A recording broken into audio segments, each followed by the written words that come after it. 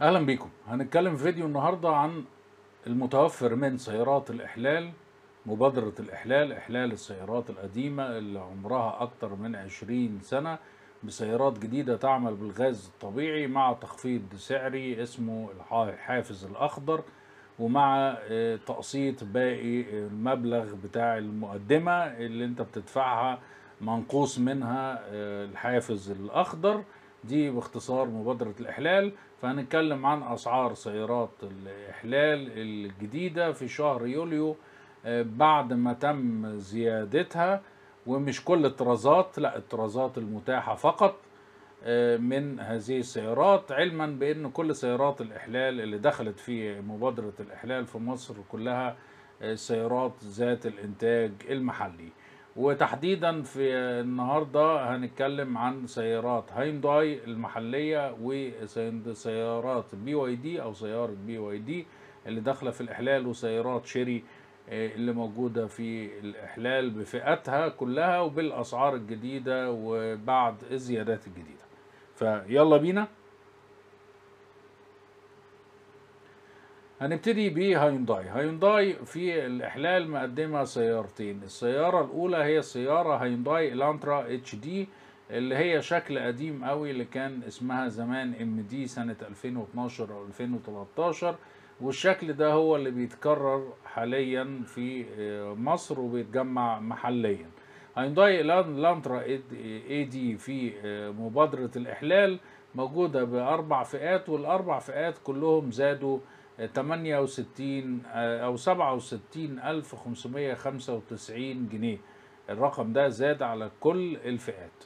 الفئة الأولى اسمها GL بقى سعرها الجديد 604970 الفئة الثانية اسمها SR بقى سعرها 614970 الفئة الثالثة اسمها هيونداي إلانترا إتش دي دي دي إي بي إي بي إس. بقى سعرها الجديد 629970 الفئة الرابعة ال High Line آه، بقى سعرها الجديد بعد الزيادة 639970 ال- الانت آه، دي آه، إلانترا HD ده الأسعار اللي إحنا قلناها دي دي ال- السعر جوه الإحلال. بعد الزيادات. طب لو جينا كده نبص على مقارنة ما بين السعر داخل الإحلال وخارج الإحلال مثلا للفئة الأولى من السيارة. الفئة الأولى اللي اسمها جي إل. داخل الإحلال قلنا سعرها 604 970 ألف. خارج الإحلال لو أنت هتشتريها بالسعر الرسمي ب 665 ألف. يعني تقريبا في فرق 60 ألف كده اللي هو قيمة الحافز الأخضر أو الخصم اللي أنت بتاخده على ثمن العربية. ده الفئة الأولى. لو بصينا للفئة الأخيرة مثلا ال High Line سعرها داخل مبادرة الإحلال آه، 639970 بينما خارج مبادرة الإحلال لو أنت بتشتريها بالسعر الرسمي من الوكيل فهيكون سعرها 700 ألف جنيه. طيب الهيونداي إلانترا HD متوفرة في مصر بمحرك 4 سلندر 1600 CC سحب طبيعي للهواء تنفس طبيعي بيدينا 121 حصان وعزم دوران 156 نيوتن متر والمحرك ده متوصل بناقل حركة أوتوماتيك اعتيادي من أربع سرعات يمكن للسيارة التسارع من 0 ل 100 كيلومتر في الساعة في 11 و3 من 10 ثانية. العربية التانية من هيونداي اللي زادت أسعارها في الإحلال هي هيونداي أكسنت RB. ودي من فئة أقل شوية من الفئة الهيونداي ال- إلانترا HD. الإلانترا HD فئة السيدان المدمجة بينما هيونداي أكسنت ال RB فئة السيدان تحت المدمجة والاكسنت RB في مبادرة الإحلال آه، ذات التجميع المحلي آه، موجودة بخمس فئات. والخمس فئات قيمة الزيادة اللي حصلت عليهم في مبادرة الإحلال آه، 47595 جنيه. كل الفئات يعني كل فئة زادت الرقم ده. فالفئة الأولى من هيونداي آه، أكسنت RB GL آه، سعرها الجديد بعد الزيادة 484970 الفئة الثانية GL SR سعرها الجديد 494970 الفئة الثالثة اسمها دي إي بي إي بي إس. سعرها الجديد 509970 الفئة الرابعة آه، اسمها هيونداي أكسنت RB DAB Plus. سعرها الجديد 524970 الفئة الخامسة ال High Line آه، سعرها الجديد بعد الزيادة 534970 هناخد sample كده على سعر العربية أثناء مبادرة الإحلال. هناخد فئة في النص كده مثلا. وسعرها بره الإحلال. هناخد مثلا الفئة الثالثة اللي هي اسمها هيونداي اكسنت ار بي دي اي بي اي بي اس سعرها داخل الإحلال آه، 509970 بينما آه، خارج الإحلال سعرها 574 ألف. يعني ممكن نقول الفرق آه، 65 ألف جنيه. آه، كده كسعر ما يعني تقريبا 65 ألف جنيه. سعر اللي هو قيمة الحافز الأخضر اللي بيتم خصمه. لو انت دخلت وقدمت عربيتك القديمة اللي هي موديل 20 سنة فأقل وكهنتها وخدت بدلها سيارة جديدة. اكسنت RB متوفرة في مصر بمحرك 1600 CC 4 سلندر آه، بيدينا 125 حصان وعزم دوران 156 نيوتن متر. والمحرك ده متوصل بناقل حركة أوتوماتيك أربع سرعات تقريبا نفس منظومة القوة اللي موجودة في الهيونداي إلانترا ال HD. نفس قوة المحرك كده بنفس عدد الأحصنة وهكذا. طيب الطراز الثاني أو brand الثاني من سيارات الإحلال ذات التجميع المحلي في مصر واللي زادت أسعاره آه، في يوليو آه، في مبادرة الإحلال هي السيارة آه، سيارات شيري سيارات شيري داخلة في مبادرة الاحلال في مصر بطرازين. حقيقة اللي هما بيتجمعوا محليا. الطراز الأولاني اللي بيتجمع محليا هو شيري أريزو 5 وهي السيارة السيدان المدمجة. آه، ال- الجميلة من شيري آه، اللي أنا صراحة بحترمها جدا وعربية محترمة جدا وأسعارها حتى قيمة الزيادات اللي بيجريها الوكيل على السيارة دي ما هياش كبيرة قوي مقارنة بمثيلتها من السيارات في نفس الفئة. شيري أريزو 5 في مبادرة الإحلال موجودة بفئتين فقط آه، نسخة manual ونسخة أوتوماتيك. النسخة ال manual اسمها Base Line حاليا مش متوفرة في مبادرة الإحلال. بينما النسخة الأوتوماتيك وهي الوحيدة المتوفرة حاليا من شيري أريزو 5 في مبادرة الإحلال آه، زادت في يوليو بقيمة 82595 آه، جنيه ليصبح سعرها الجديد 500720 جنيه. طيب خلينا آه، أسعار شيري أريزو 5 موديل 2023 خلال يوليو خارج الإحلال بقى. يعني إحنا قلنا في الإحلال آه، شيري أريزو 5 بتيجي بطرازين فقط نسخة manual نسخه أوتوماتيك.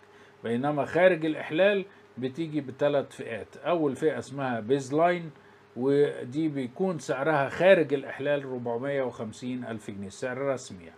تاني فئة Base Line بالفرش الجلد سعرها خارج الإحلال ب 495 ألف جنيه السعر الرسمي تالت فئة ال High Line سعرها 520 ألف جنيه داخل آه، خارج الإحلال آه، وده السعر الرسمي طبعا اللي هو بتروح الوكيل ما بتلاقيهاش بالسعر الرسمي. كل العربيات اللي بينتجها الوكيل محليا خط الإنتاج تقريبا كله بيحوله على الإحلال واللي ما بي- كسيارات يتباع في في مبادرة الإحلال أو اللي بيزيد عنه أو جزء منه بيقوم محوله للمعارض وياخد عليه over price زي الحركة اللي بيعملها كل الوكلاء في الأيام دي. للأسف أحد أسباب آه، تدمير سوق السيارات المصري في الفترة الحالية. شيري أريزو 5 بتتوفر في مصر بمحرك 1500 CC DVVT تكنولوجيا حقن الوقود أو آه، تكنولوجيا variable valve timing اللي هو آه، آه، آه، الصمامات أو البلوف متغيرة متغيرة متغيرة توقيت الفتح والقفل يعني. ودي تكنولوجيا حلوة جدا ومتطورة بت بتأدي بتديك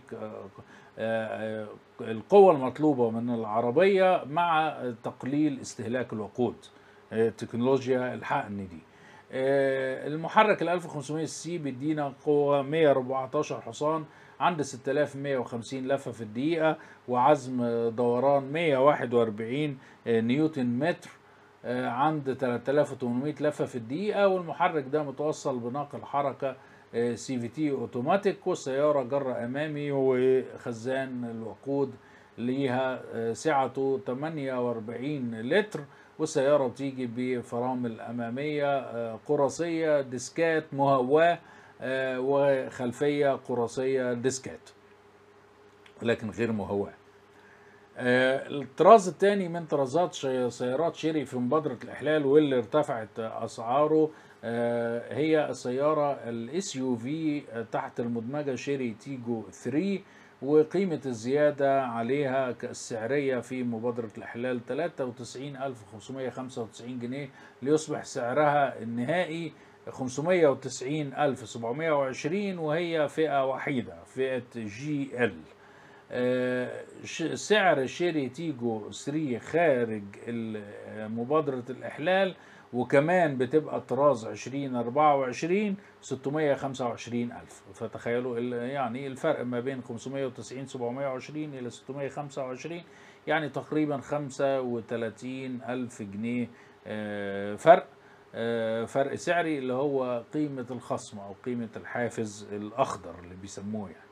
شيري تيجو 3 موديل 2024 بتيجي بمحرك 1600 CC سحب طبيعي للهواء تنفس طبيعي بيدينا 93 حصان وعزم دوران 160 نيوتن متر عند 3900 لفة في الدقيقة والسيارة بتيجي بخزان وقود سعته 55 لتر محرك السيارة متوصل مع ناقل حركة أوتوماتيك CVT والسيارة دفع ثنائي بالع- بالعجلات الأمامية آه، ومن مميزاتها بتيجي مع توجيه power وجنوط رياضية ألمونيوم 17 بوصة. تالت brand هنتكلم عنه في مبادرة الإحلال من السيارات ذات الإنتاج المحلي آه، واللي آه، آه، بتباع في الإحلال آه، هي السيارة والمتوفرة حاليا. هي السيارة BYD F3 اللي وكيلها شركة الأمل للسيارات وهو وكيل سيارات لادا أيضا في مصر. الزيادة اللي حصلت عليها في مبادرة الإحلال يعني أعلى شوية من 27 ألف جنيه. الزيادة قيمتها تحديدا 27 ألف 625 ألف جنيه. آه، على الفئات وزيادة قيمة الزيادة ثابتة على الفئات وهي بتتقدم في الإحلال بفئتين الفئة الأولى فئة manual سعرها الجديد بعد الزيادة 381 ألف جنيه والفئة الثانية أوتوماتيك سعرها الجديد بعد الزيادة 431 ألف جنيه. طيب لو بصينا لأسعار ال BYD F3 خارج مبادرة الإحلال هنلاقي إن الفئة المانيوال سعرها 450 والفئة الأوتوماتيك سعرها 490 فهنا قيمة الخصم أو قيمة الحافز الأخضر المخصوم من هذه السيارة لما تيجي تشتريها وتقدم سيارتك القديمة اللي تتكهن مكانها آه، قيمة الخصم كبيرة. يعني في الفئة الأولى آه، داخل الإحلال ب 381 خارج الإحلال ب 450 يعني في فرق حوالي 70 ألف جنيه. آه، بينما دي الفئة مانيوال في الفئة الأوتوماتيك داخل الإحلال ب 431 ألف خارج الإحلال ب 490 ألف يعني تقريبا 60 ألف جنيه قيمة خصم يعني. فإحنا لو بصينا على قيمة الحافز الأخضر كده لو درسناها من تحليل الأسعار دي هنلاقيها يعني قيمة الحافز الأخضر بتتراوح من 60 ألف إلى 70 ألف تقريبا في كل السيارات اللي قلناها. BYD F3 بتتوفر في مصر بمحرك 1500 CC 4 سلندر بيدينا 108 حصان وسحب طبيعي للهواء تنفس طبيعي. والمحرك بيدينا عزم دوران 145 نيوتن متر. المحرك متوصل مع ناقل حركة يا manual يا إما أوتوماتيك CVT في التعديل الجديد. في التعديل الجديد اللي هو الفتيس الجديد اللي نزل في العربية بعد ما كان الفتيس القديم اللي السيارة كان فيه مشاكل بس ما كانش فتيس CVT الجديد الفتيس CVT ما فيهوش مشاكل حتى الآن وبقى له داخل دلوقتي في سنتين شوية في مصر بلا مشاكل تذكر يعني أو بلا مشاكل نهائية. آه، والسيارة طبقا للأرقام الرسمية بتحقق استهلاك وقود ستة وتلاتة من عشرة لتر لكل مية كيلو متر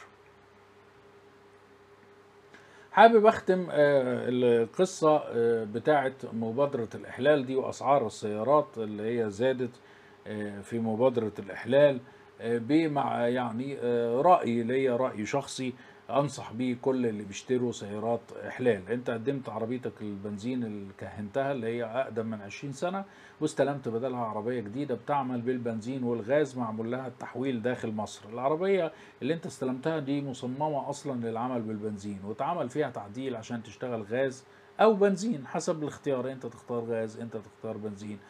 نصيحتي ليك لو انت عاوز الموتور يعمر كويس ويعني يستمر فترة طويلة ما تمشيش على العربية بالغاز امشي على العربية بالبنزين زي ما هي مصمم ليها من الأساس. السيارات الغاز آه، عشان تركب عربية بتشتغل بالغاز اشتري عربية من الأساس محركها مصمم لأنه يشتغل بالغاز مش عربية معمول لها آه، تحويل وده رأي شخصي ليا ومبني على دراسات وحاجات معينة آه، فأرجو آه، إيه يعني إيه آه، آه، تقبل هذه النصيحة مني وخد بيها أو ما تاخدش بيها أنت حر. عشان للحفاظ على آه، عمر موتورك لفترة طويلة كويسة. هيفضل محتفظ بالغاز موجود في السيارة لحد ما تسدد أقساط السيارة لأن هم طبعا بيشترطوا إن أنت لما بتيجي تجدد رخصة العربية آه، أو طول ما أنت بتدفع الأقساط بتاعت السيارة بيشترطوا إن الغاز يبقى موجود في العربية. بغض النظر أنت هتستخدمه أو مش هتستخدمه دي قصة تانية. آه، إنما بعد ما تخلص آه، آه، اقساط العربية وتبقى العربية ملكك تماما خالصه مخلصه لك الحرية إن أنت تشيل الغاز اللي موجود فيها وتخليها تشتغل بالبنزين فقط. طيب. BYD F3 دي كانت آه، آخر آه، سيارة زادت أسعارها في الإحلال. طب إيه السيارات التاني اللي كانت موجودة في الإحلال؟ وما لهاش آه، وجود حاليا أو مش متوفرة حاليا في مبادرة الاحلال ده مش معناه إنها مش هتنزل خالص لا هتنزل تاني. كان بينزل السيارة نيسان صني وكان بينزل السيارة نيسان سنترا آه، بالإضافة للسيارات اللي فاتت. آه، كان بينزل السيارة لادا جرانتا بتعمل بالغاز الطبيعي برضو معمول لها تعديل في مصر. حاليا دي برضو مختفية من مبادرة الإحلال. وبس كده خلص فيديو النهارده. أتمنى الفيديو يكون عجبكم. إذا عجبتكم الحلقة أتمنى تدعمونا ب like للفيديو و share في كل مكان واشتراك في القناة بالنسبة للناس اللي مش اشتركتش في القناة حتى الآن وبتتفرج علينا. إلى اللقاء في فيديو جديد. سلام.